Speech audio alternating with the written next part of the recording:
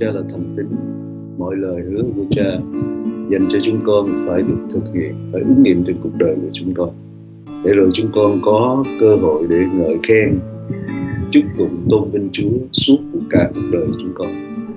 Giờ này chúng con đến trong sự hiện diện thánh của Cha, nơi chí thánh vinh quang để chúng con tìm thấy được tình yêu ân điển cho chúng con trong thời giờ có cần thiết. Ngay bây giờ xin Thánh Linh dạy dỗ chúng con lời của Chúa, ban cho con năng lực sức mạnh để cho chúng con có thể thực hiện lời của Ngài mỗi bước đi bởi đức tin theo lời của Ngài. Chúa con cảm ơn Cha, con dâng hết thảy anh chị em chúng con một ngày mới, một tuần mới trong tay Chúa. Chúng con hiệp một và tập kính cầu nguyện nhân danh Chúa Jesus Christ. Amen. Chúng ta tiếp tục suy gẫm lời Chúa và khám phá ra những lẽ thật màu nhiệm ở trong lời của Đức Chúa Trời. Nó là một sự phước hạnh cho cuộc đời của chúng ta.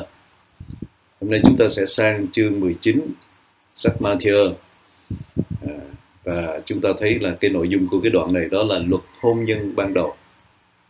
À, chúng ta bắt đầu từ câu 1. Đức Chúa xu phán lời ấy xong rồi thì từ xứ Galilee mà đi đến bờ cõi xứ Jude bên kia sông giô đanh có nhiều đoàn dân đông theo Ngài, Ngài chữa lành các kẻ bệnh ở đó. Chúng ta thấy rằng là Chúa đi đến đâu thì người ta đi theo đó, và Chúa luôn luôn ở trong sự hiện diện của Ngài là Chúa chữa lành cho tất cả những kẻ bệnh. Chúa nói với chúng ta nơi nào có hai, ba người nhóm lại, nhân danh ta ta ở giữa, thì tại đó Chúa cũng là Đức Chúa Trời của chúng ta sẽ chăm sóc và chữa lành cho hết thảy chúng ta. Chúng ta tin điều đó và chúng ta nhóm lại. Chúng ta nhóm lại để chúng ta kinh nghiệm sự chữa lành của Đức Chúa Trời. Dạ. Trong câu 3 Người Pharisee bèn đến gần để thử Ngài mà rằng à, họ thử nha, cái này họ thử nha chứ không phải là họ không biết đâu nha. Không cớ vì cớ gì người ta có phép để vợ mình chăng? À, chúng ta thấy là họ hỏi một cái câu hỏi là không cứ vì cớ gì người ta có phép để vợ mình chăng? Có nghĩa là bây giờ là người ta có được để vợ là bất kỳ lý do nào không? Nói tóm lại là để vợ không cần lý do ý vậy là vậy chúng ta thấy là người Pharisee luôn tìm mọi cách để gài bẫy ngài. Họ đã nhìn thấy Chúa là ngài thường hay tỏ ra sự nhân từ với tội nhân. Ngài tỏ ra từ sự nhân từ với tội nhân, ngay cả người đàn bà mà coi như là phạm tội tà dâm bị bắt quả tang mà Chúa cũng tha. Người đàn bà có năm đời chồng, Chúa cũng không nói gì mà Chúa còn cứu bà. Cho nên họ thường thường họ thấy Chúa hình như hành xử nó khác với luật pháp. Luật pháp là gặp tội nhân là xử, nhưng mà Chúa thì gặp tội nhân thì thương xót và tha thứ. Cho nên họ cứ lấy luật pháp ra để gài bẫy Chúa, để bắt bớ Chúa. Họ thì cứ hành xử theo luật, nghĩa là tội là phải phạt thôi. Nhưng mà Chúa thì đến với lòng thương xót và ân điển. Nhưng mà tại sao ngài có thể thực thi cái lòng thương xót với tội nhân? Tại sao vậy? Tại sao ngài tha vậy? Tại vì chính ngài sẽ trả giá cho tội lỗi của họ. Khi Chúa tuyên bố với người đàn bà, ta cũng không định tội ngươi. Người đàn bà tại dâm Chúa nói, ta không định tội ngươi. Điều đó nó trái với luật pháp. Phải ném đá bà, nhưng mà khi Chúa tuyên bố, ta không định tội ngươi, có nghĩa là Chúa đã sẵn sàng trả cái giá để đền tội cho bà. Chúa sẽ trả giá cho bà luôn. Cho nên Chúa sẽ trả giá tội lỗi để đảm bảo sự công bình của luật pháp. Cho nên Ngài có quyền Ngài có quyền để tha thứ cho tội nhân bởi ân điển của mình, bởi lòng thương xót của mình. Chúng ta trở lại với câu hỏi. Họ bắt đầu họ thử ngài với cái luật gọi là luật ly dị vợ, để vợ đó. Nhưng mà tại sao họ lại đưa ra câu này? Có phải là họ muốn thử cái trình độ luật pháp của Chúa? Nghĩa là Chúa hiểu biết luật pháp đến cỡ nào? Đó mà. tại vì họ quan sát, họ thấy dường như Chúa làm nhiều điều nó không không đúng, không giống như luật pháp.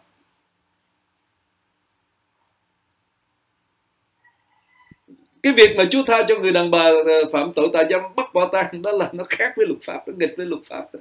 luật pháp là phải trừng trị thôi. Mà chúng ta biết phạm tội tà dâm mà coi như là bắt quả tang là bị ném đá chết trong luật pháp ghi rõ như vậy. Nhưng mà Chúa tha.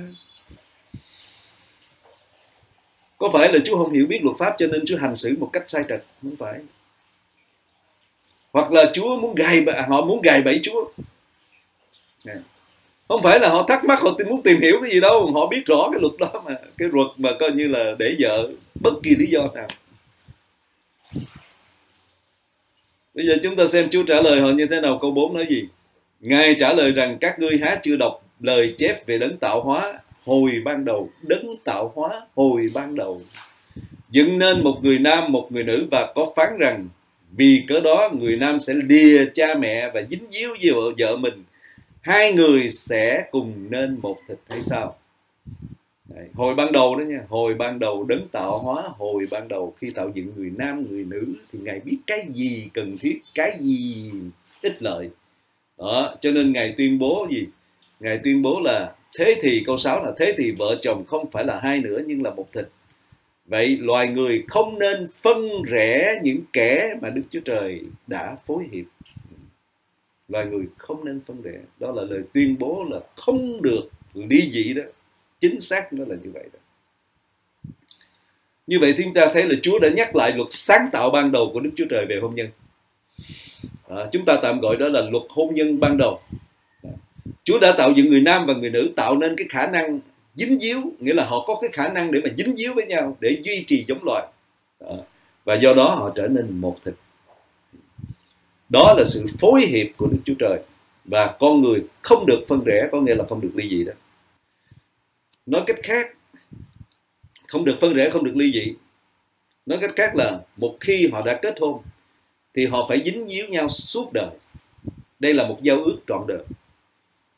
Cả chồng và vợ phải chịu trách nhiệm chăm sóc lẫn nhau.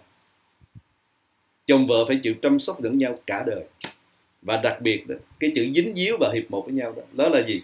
Đó là cả chồng lẫn vợ phải đáp ứng nhu cầu tình dục của nhau suốt đời.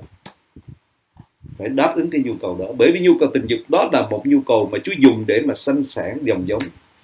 Nhưng mà để bảo đảm không có bị điều gì sai trật thì Chúa đòi hỏi họ phải đáp ứng nhu cầu tình dục của nhau là suốt cả một đời. Không được bỏ một người bơ vơ không được. Đó là luật ban đầu. Luật mà Chúa Giêsu đề cập là luật ban đầu. Luật trước khi con người bị sa ngã, phạm tội tội lỗi nó cai trị. Trước khi mà tội lỗi nó xen vào, trước khi tội sự chết nó cai trị con người. Trước khi mà Adam ăn cái cây cấm làm cho bản chất của mình bị sa ngã đi, bản chất của mình không còn như ban đầu nữa.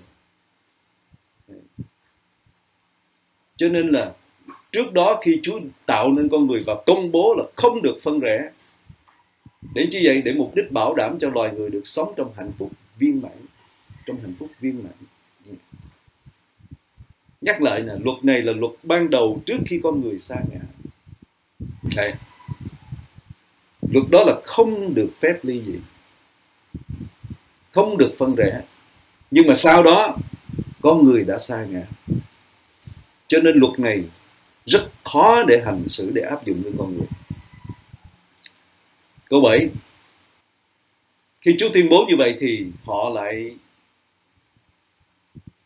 đưa ra cái vấn đề, họ lập luận với vấn đề là họ lại hỏi ngài rằng, vậy cớ sao môi xe đã dạy lập tờ để đặng để vợ đi? Đấy. họ nghĩ rằng đã thành công trong việc gài bẫy Chúa khi đề cập đến luật môi xe tại vì Chúa nói là coi như là không được cái gì họ nói là, nó môi xe nói khác. Đó, họ đưa ra luật pháp để mà gài Chúa, để mà nghĩ rằng là Chúa mắc mưu rồi, Chúa kẹt rồi. Nhưng mà chúng ta xem cái luật môi xe ở trong phục đò truyền đội luật lệ ký đoạn 24 câu 1 như thế nào? Khi một người nam cưới vợ, nếu nàng chẳng được ơn trước mặt người, bởi ngươi thấy nơi nàng có một sự xấu hổ nào, ví dụ như là bị tật ví dụ như là xấu quá, ví dụ như hô, ví dụ như lé thì vân vân và vân vân, nha. Thì người được viết một tờ để trao vào tay nàng rồi đuổi khỏi nhà mình. Yeah. thấy không ưa là viết cái tờ ly dị, đưa vô tay cầm tay rồi đuổi khỏi nhà. Yeah. rồi luật đó còn nói thêm gì? Khi nàng đã ra khỏi nhà người, đi làm vợ một người khác. Đi làm vợ một người khác. Nếu chồng thứ nhất nếu người chồng thứ nhì lại ghét nàng viết cho một tờ để, trao vào tay nàng và đuổi khỏi nhà mình, bây giờ tới ông chồng thứ hai cũng đuổi luôn. Hay là người chồng thứ nhì này chết đi, thì người chồng thứ nhất là người chồng đã đuổi nàng đi, không được phép lấy lại, nàng lại làm vợ sau khi nàng bị ô uế. Chúng ta thấy có nghĩa là nếu ông chồng thứ nhất mà đuổi người này đi, mà nếu mà người khác cưới bà này bà này ở với người khác thì bà bị ô uế. Bà bị ô uế. Mà nếu mà ông chồng thứ hai mà ly dị thì ông chồng thứ nhất không được lấy lại. Mà nếu ông chồng thứ hai có chết đi nữa thì cũng không được phép lấy lại bởi bởi vì đã bị ô uế. Cho nên là nếu mà nói mà theo luật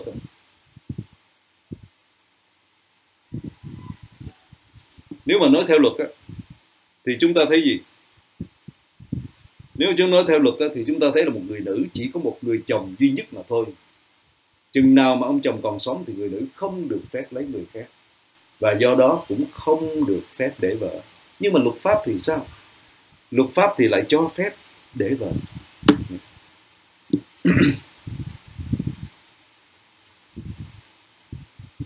Kinh Thánh nói là vì ấy là một sự gớm ghiếc trước mặt Đức giê va Ngươi chớ đổ tội cho xứ mà gieo ba Đức Chúa Trời. Ngươi ban cho, ngươi làm sản nghiệp.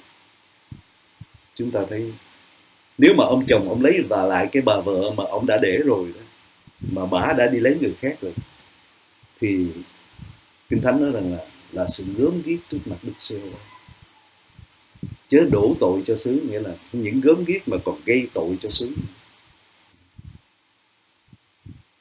Như vậy thì theo môi xe thì người nam có thể bỏ vợ, không cần lý do.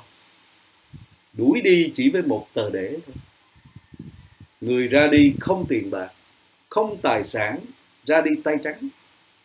Mà nếu lấy chồng khác thì trở nên ô uế. Cực căng như vậy, rất là căng như vậy. Mặc dù là cho phép để vợ, nhưng mà nếu mà coi như người nữ này lấy chồng khác thì là ô uế ngặt một nỗi là đuổi đi, không có chia tài sản gì giống như bây giờ. Chỉ có cái tờ để thôi tờ ly dị thôi. Không bạc, không tiền, không tài sản gì hết. Rất là khổ. Câu 8 Ngài phán rằng, vì có lòng các ngươi cứng cỏi nên môi xe cho phép để vợ. Nhưng lúc ban đầu không có như vậy đâu. Vì cớ lòng các ngươi cứng cỏi vì cớ lòng cứng cỏi nhưng ban đầu không phải như vậy. Như vậy thì sau khi sa ngã Chúa hiểu rõ bản chất tội lỗi của con người tội lỗi nó cai trị rồi mà. Là tham lam là ích kỷ là vô trách nhiệm. Cho nên với cái lòng cứng cỏi đó, đó họ không thể nào tuân theo luật ban đầu được hết. Mà nếu càng cấm thì càng tệ hại hơn khi mà bị tình dục suy khiến. Cái bản chất tội lỗi thì không thể nào tuân theo cái luật ban đầu được cấm để vợ bởi vì nếu mà đưa luật đó ra, thì tất cả đều phạm tội rất là nhiều, bởi vì tội lỗi nó cai trị. Vậy nên Chúa đã cho phép họ để vợ.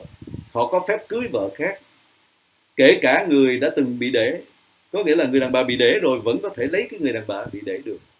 Nhưng mà riêng các ông thầy tế lễ bị cấm. Mấy ông thầy tế lễ phải cưới người nữ đồng trinh chứ không được cưới người đàn bà bị để nhưng mà cái điều luật quan trọng nhất, cái trên là du di cái trên là gọi là hơi thông cảm nha. Tạm gọi là như vậy đi. Nhưng mà cái điều luật quan trọng nhất là cấm lấy vợ người khác, tuyệt đối cấm lấy vợ khác, người khác. Mà luật rõ ràng, nếu mà ăn nằm với người vợ người khác thì cả hai cùng bị ném đá chết. Luật ghi rõ ràng như vậy đó. và khắc khe như vậy. Thậm chí là người nữ đó mới hứa hôn thôi. Mới hứa hôn với một người nam khác thôi mà bắt gặp quả tang nằm với một người khác thì cả hai cũng bị ném đá chết mới chỉ là hứa hôn thôi. Đấy. cho nên tuyệt đối cấm. Cho phép ly dị. Thậm chí cưới người vợ bị để, nhưng mà cấm không được lấy vợ người khác. Đang khi họ còn sống với nhau.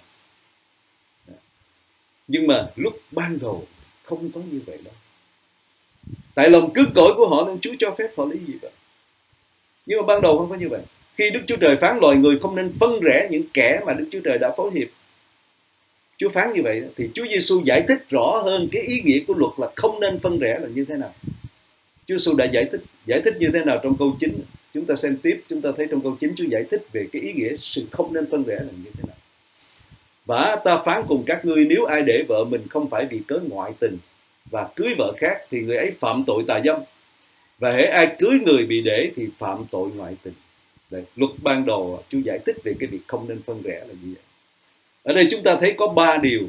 Điều thứ nhất là, là lý do duy nhất mà có quyền để vợ là vì cái bà vợ đó bà ngoại tình.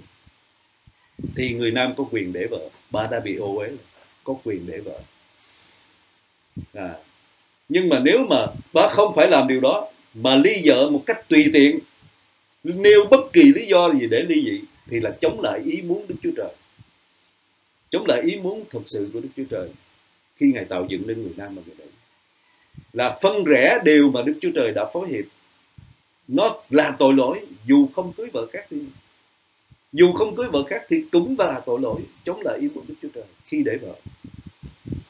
Trong Malachi đoạn 2 câu 16 có nói rõ cho chúng ta biết rằng cái cái cái cái cái, cái thái độ của Đức Chúa Trời đối với việc để vợ như thế nào. Vì Jehovah Đức Chúa Trời của Israel có phán rằng ta ghét người nào bỏ vợ và người nào lấy sự hung dữ che áo mình, Đức Jehovah bạn quân phán vậy. Chúa nói là ta ghét người nào bỏ vợ.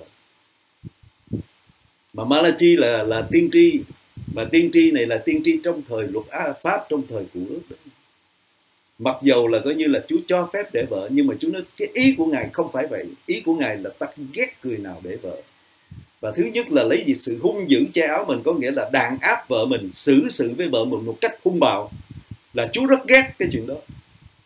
Chúa rất ghét cái chuyện đó. Thứ nhất để vợ, thứ hai là xử vợ một cách hung bạo, đàn áp vợ một cách hung bạo thì Chúa ghét cái điều đó. Bởi vì vợ là một cái giống yếu đuối hơn mà Chúa nói phải trân trọng, phải đối xử một cách khôn ngoan. Dạ. Như vậy, bỏ vợ, thứ nhất là không được phép ly dị vợ, chỉ có duy nhất là ngoại tình thôi, nha để vợ mà dù không cưới vợ khác cũng phạm tội. Điều thứ hai mà Chúa nói là, là bỏ vợ để cưới người khác là phạm tội tà dâm. Bỏ vợ mình cưới người khác là phạm tội tà dâm. Điều thứ ba tờ để hay là giấy ly dị đó là có giá trị pháp lý với con người nhưng mà bất hợp pháp với Đức Chúa Trời. Bất hợp pháp với Đức Chúa Trời nhiều khi người ta nghĩ là ờ có cái tờ giấy ly dị rồi ta ừ, đường ai nấy đi, ai cũng tự do, ai có quyền ờ, lấy người khác. Là hợp pháp. Đúng, hợp pháp với con người, với luật đời này, thậm chí với luật pháp nữa, luật pháp của giáo cũ nhưng mà với Đức Chúa Trời thì đó là bất hợp pháp với Đức Chúa Trời, bởi vì hôn nhân là một giao ước trọn đời mà Chúa thiết lập, con người không được phân rẽ như vậy nếu mà ai cưới người ai cưới cái người mà đã ly dị đàn bà bị đẻ đó, thì là phạm tội ngoại tình. Vì trước mặt Chúa người đó vẫn như là có chồng. Đó. giấy tờ ly dị đó không có giá trị với Đức Chúa Trời. Sau khi nghe như vậy thì môn đồ phản ứng. Nghe Chúa phân tích như vậy về luật hôn nhân ban đầu không được để vợ này kia ha không được bỏ vợ vì là chống nghịch Đức Chúa Trời, không được ly dị uh, ly dị vợ rồi cưới người khác là phạm tội tà dâm, cũng không được cưới người đàn bà bà để vì đó là tội ngoại tình, bởi vì trước mặt Đức Chúa Trời đàn bà đó là có chồng. Cho nên chính môn đồ cũng phản ứng, môn đồ thưa rằng nếu phận người nam phải xử với vợ mình như vậy thì thà không cưới vợ là hơn. môn đồ phản ứng như vậy. Chính môn đồ có phần thất vọng với sự đáp lời của Chúa dường như họ xem cái chuyện để vợ là cái quyền lợi chính đáng của họ vì được luật pháp bảo hộ. Họ xem như vậy. Ngày hôm nay vậy thôi. Ngày hôm nay, thậm chí ngày hôm nay là họ làm xem như chuyện đó bình thường. Bây giờ không ưa nhau là coi như kéo ra tòa ly gì là xong. Đường ai nấy đi, muốn làm gì làm. Ngày hôm nay chuyện đó còn dữ dội cần nhiều hơn nữa. Khi lấy nhau thì thề non hẹn biển đủ thứ hết đó có ngày, có giờ. Hứa đủ thứ, kể cả trong cơ đốc giáo. Nhưng khi về ở với nhau rồi không hợp rồi, bắt đầu là coi như là kéo nhau ra tòa ly dị rất là dễ dàng, rất đơn giản. Con cái này kia mặc kệ, trách nhiệm với nhau cũng mặc kệ. Mà thiệt thòi là thiệt thòi cho người nữ nhiều hơn. Thiệt thòi cho người nữ nhiều hơn đó là tâm lý chung của tất cả chúng ta. Thầy không nói riêng ai chính thầy cũng nhiều khi là coi như là xém chút nữa là rơi vào cái tình cảnh này. Nhưng cảm ơn Chúa nhờ ân điển mà Chúa cứu mình nhờ ân điển mà Chúa giữ mình.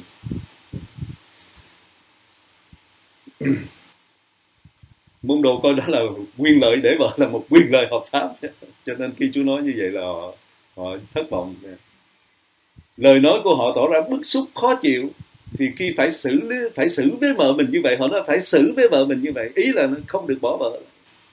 Không được bỏ vợ cái chuyện đó đối với họ là nó, nó giống như nó bức xúc lắm ấy.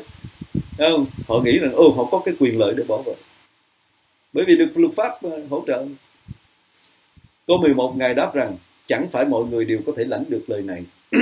Chỉ có những người sẵn ban cho như vậy thôi vì có người hoạn từ trong lòng mẹ có người hoạn vì tay người ta và có người tự mình làm nên hoạn vì cớ nước thiên đàng. Người nào lãnh nổi lời ấy thì hãy lãnh lấy. Chúa nói chẳng phải mọi người đều có thể lãnh được lời này. Khi Chúa tuyên bố hôn nhân ban đầu Không được để vợ, không được ly dị Không được cưới đàn bà vì đấy Chúa nói không phải ai cũng lãnh nổi cái lời đó Tại môn đồ nói là thôi ta đừng lấy vợ thì Chỉ có những con người mà bị hoạn rồi đó. Chỉ có những người bị hoạn thôi. Thì mới là làm được cái việc đó. Tại sao họ làm được việc đó? Bởi vì không lấy vợ thì không phạm tội với luật hôn nhân ban đầu. Bản chất của cái con người sa ngã thì không thể nào đáp ứng được cái luật mà Chúa nói để về hôn nhân ban đầu. Bản chất con người khó lắm. Chỉ có những kẻ hoạn. Thật ra vậy, bởi vì nếu mà có lấy thì cũng có phối hiệp được đâu, cũng có dính díu được đâu, cũng có làm một gì được đâu đâu. Cho nên không có phạm tội trong cái luật hôn nhân ban đầu. Nhưng mà chúng ta lưu ý là luật hôn nhân ban đầu là dành cho con người trước khi sa ngã, không phân rẽ. Luật đó là không có phân rẽ trước khi con người sa ngã. Nhưng mà họ làm được không? Họ làm được khi mà Chúa phán điều đó Chúa dựng nên người nam người nữ Chúa phán điều đó thì họ làm được bởi vì lúc đó tội lỗi chưa cai trị họ. Tội lỗi chưa cai trị họ. Họ có thể tuân theo họ có thể làm được vì tội lỗi chưa cai trị. Nhưng khi mà tội lỗi cai trị họ lòng của họ đã cứng cỏi rồi thì luật pháp cho phép họ ly dị. Nhưng mà dân Israel vẫn vi phạm nặng nề. Trong luật á, là cho phép ly dị nhưng mà cấm lấy vợ khác cấm lấy vợ người khác và cấm lấy người đàn bà đã bị để rồi. Do chính mình để ra, cho, do chính mình đã đã bỏ bà đi rồi, người ta ở với người khác lấy lại. Nhưng mà họ vẫn phạm những cái luật sau đó. Mà trong đó có cả vua mà Đức Chúa Trời yêu mến đó là David. Ông giành lại mi canh từ Pha-ti-en. Có nghĩa là khi ông trốn chạy sau lơ thì sau lơ mới bắt vợ của ông là Mikan nó gả cho một người khác là Pha Thiên, rồi khi mà ông có quân đội ông quay trở về. Ông có quân đội ông quay trở về ông đòi là phải cho bằng được. À, khi mà sau lơ chết sau lơ là cha của Mikan chết đem Mikan gả cho người khác thì ông về ông đòi cho bằng được là coi như là đem vợ ông trở lại. Thì người ta mới đưa vợ ông lại. Ông Fatien này là chồng sau đó đi theo khóc lóc tiễn biệt bà Mikan trở lại với David. Thì chúng ta thấy David đã lấy lại vợ mình là một người vợ đã nằm với người khác rồi. Rồi ngoài ra, David còn một phạm tội, một cái tội nặng khác nữa, đó là ngoại tình với Bathsheba. Không những ngoại tình với một người đàn bà có chồng mà còn giết chồng của bà nữa. Chúng ta thấy một vị vua mà được Đức Chúa Trời yêu mến, hết lòng với Đức Chúa Trời, nhưng vẫn phạm trên cái tội. Cho nên chúng ta thấy tội lỗi nó cai trị con người tội lỗi nó cai trị con người. Mặc dù là luật pháp đã đã đã có gì là gọi là là dung chịu rồi đó, nhưng mà vẫn phạm nhưng mà vì lòng thương xót lớn lao của Chúa đã tha cho ông tội chết. Tất nhiên Chúa đã trừng phạt ông nhưng mà vẫn tha cho ông tội chết và đặc biệt là không trút phế ông khỏi cái ngai vị ông đang ngồi. Và thậm chí là không trút phế cái dòng dõi của ông được hứa làm vua nữa. bởi vì đó là lời hứa của Đức Chúa Trời. Chúa phải thành tính một mình ông phạm tội, nhưng bởi vì Chúa đã thành tín với ông về cái việc lời hứa cho cả một dòng dõi là vua và dòng dõi quan trọng nhất là Chúa Giêsu làm vua. Cho nên Chúa phạt ông, nhưng mà không cất ngay vị khỏi ông và dòng dõi ông. Chúng ta thấy khi Chúa Giêsu đến thì ngài đã từng cứu năm, cứu một người có năm đời chồng. Người đàn bà có năm đời chồng và chồng hiện nay là chồng thứ sáu. nhưng mà Chúa không quở trách bà, nhưng mà Chúa vẫn giải thích cho bà về đấng Messi và bà được cứu. Bà trở thành chứng nhân cho Chúa. Rồi ngài còn tha cho người đàn bà bị phạm tội bắt tờ tà dâm, bắt quả tang, lẽ ra bị ném đá đó nhưng mà ngài tha. Thầy nhắc lại, tại sao ngài tha? Ngài không vi phạm, ngài vẫn công bằng, bởi vì ngài sẽ chết đền tội cho bà. Như vậy nếu theo luật thì bà phải bị ném đá chết. Dù luật pháp đã nhân từ với con người, nhưng với con người qua những của lễ chuộc tội nhưng không một ai có thể được xưng là công bình. Chúng ta thấy ở trong luật pháp ấy, ngoài cái việc mà coi như là cho phép để vợ nha ngoài ra luật pháp còn có cái thêm cái nữa là gì? Là còn cái nữa là có những cái của lễ để có thể chấp nhận và tha thứ cho con người. Mà tạm thời thôi. Nó chỉ mang tính chất tạm thời thôi chứ nó không có phải là tha tội thực sự. Cho nên là con người vốn là tội lỗi nói mà làm theo luật pháp, dù luật pháp có nhân nhượng đi nữa, thì con người vẫn cứ phạm luật pháp. Cho nên con người chỉ có thể nhờ lòng thương xót của Chúa mới được cứu mà thôi. Trong gia cơ đoạn 2 câu 13 nói, sự đoán xét không thương xót kẻ chẳng làm sự thương xót, nhưng sự thương xót thắng sự đoán xét. Ngay cả luật pháp đó nha, nhưng mà có sự thương xót của Đức Chúa Trời ở trong đó. Ngay cả luật pháp cũng có sự thương xót mà nếu mà coi như là chúng ta nhờ sự thương xót Đức Chúa Trời thì chúng ta mới thoát khỏi sự phán xét mà thôi. Còn nếu không thì chúng ta không thoát khỏi sự phán xét được. Nhưng mà ngày nay thì sao? Cụ ước á, thì có thể thông cảm cho những kẻ cứng cổ một cái tờ để và được tạm tha nhờ những cái của lễ. Còn tân ước tân ước thì sao? Tân ước thì vì sự công bình trọn vẹn cho nên ngài đã trả cho chúng ta một giá để ban cho chúng ta sự tha thứ sẵn có đời đời. Bởi vì Chúa biết, ngày nào chúng ta còn sống trên đất này, ngày đó chúng ta còn lỗi lầm. Cho nên Chúa trả một cái giá để sẵn tha cho chúng ta đời đời, ngay cả trong cái chuyện hôn nhân đó. Ngay cả trong chuyện hôn nhân. Nhiều khi chúng ta làm những điều này, điều kia, yếu đuối, phạm tội, lầm lỡ, ngay cả trong chuyện hôn nhân. Nhưng mà chúng ta có một cái sự sắm sẵn để tha thứ đời đời cho chúng ta rồi. Đấy nó hơn cả luôn cả luật pháp thời của. Nhưng có điều chúng ta lưu ý này những người mà nếm trải ân điển của Chúa thật sự đó, hiểu được ý muốn của Chúa đó, thì không lạm dụng ân điển.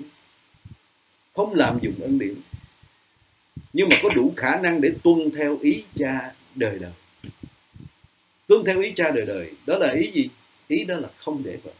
Ban đầu Chúa dựng nên là Chúa nói là không để vợ, không có phân rẽ. Đấy nhưng mà khi mà tội lỗi bước vào thì con người không làm được việc đó nhưng khi chúng ta tiếp nhận ân điển của Đức Chúa Trời, chúng ta có, dù chúng ta có sẵn sự tha thứ đi nữa, thì chúng ta cũng biết ý của Chúa để chúng ta sống theo ý của Chúa người mà sống dưới luật pháp, họ không thể làm nổi nhưng chúng ta những người ở trong ân điển thì chúng ta cậy ân điển và quyền năng Đức Chúa Trời để chúng ta thực hiện ý muốn của Đức Chúa Trời. Ân điển là phải tốt hơn luật pháp, chứ không có thể nói ân điển là xấu hơn luật pháp được. Không thể có chuyện đó nha quý vị.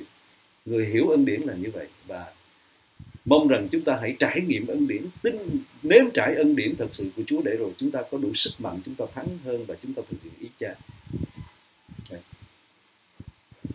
Không để vợ. Ngay cả việc ly thân cũng không nên có luôn. Chứ đừng nói là không để vợ.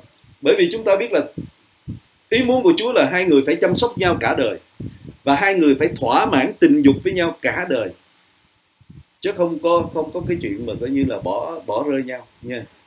Cho tôi nhất đoạn 7 câu 4 vợ không có quyền tự chủ trên thân mình, bèn là chồng. Chồng cũng vậy, không có quyền tụ tự chủ trên mình, thân mình bèn là vợ. Có nghĩa là cái cái thể xác, cái thân thể của người chồng là của người vợ.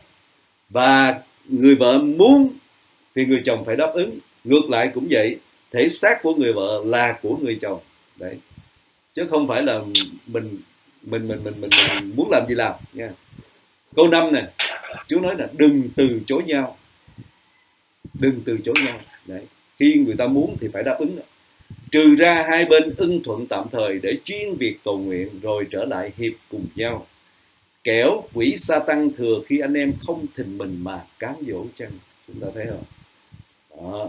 ngay cả ly thân có nghĩa là cũng không được phép nhưng mà phải sớm sớm nhanh chóng hiệp lại cùng nhau, không để cho ma quỷ nhân dịp như vậy là bởi ân điển, mọi tội lỗi liên quan đến hôn nhân của chúng ta trước kia được tha hết.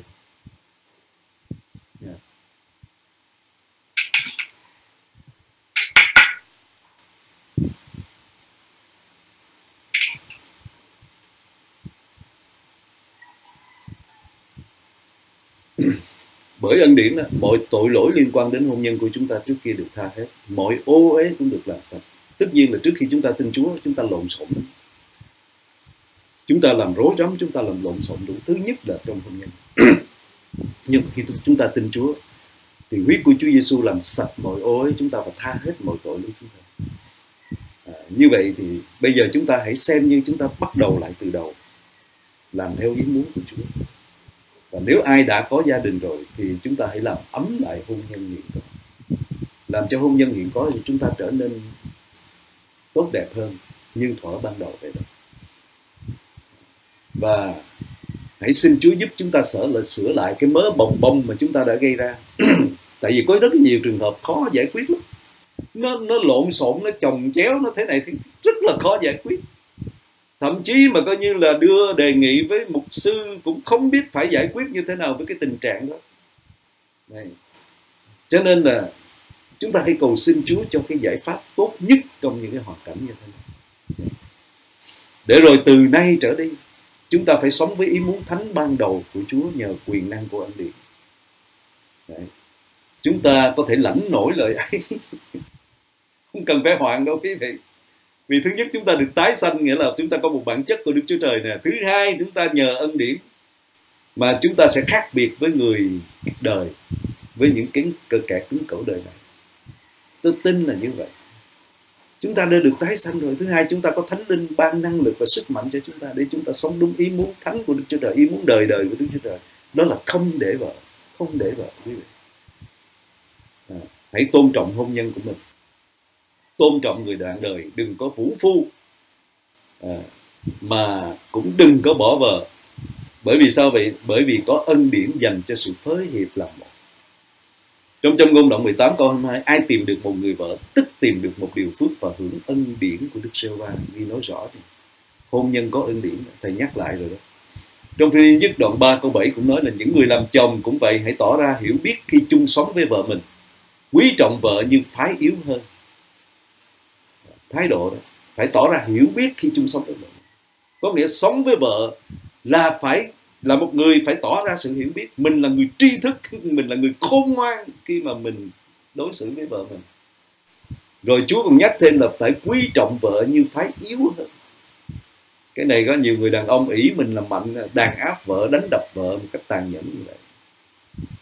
Điều đó là không không đúng với ý muốn thánh của Chúa.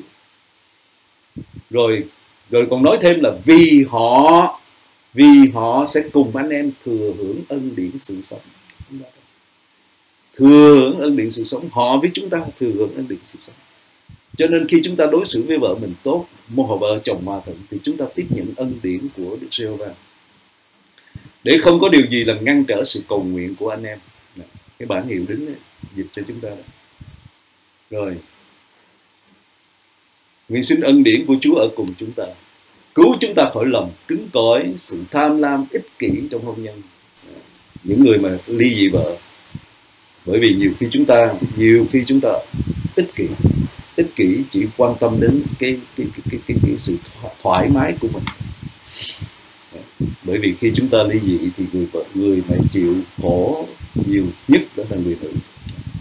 Cho nên xin Chúa dùng ân điển của Ngài cứu chúng ta ra khỏi cái tấm lòng cứng cỏi đó thay đổi bản chất chúng ta. Ngài đã tái sanh, ngài thay đổi bản chất này. Hãy làm cho chúng ta kết quả.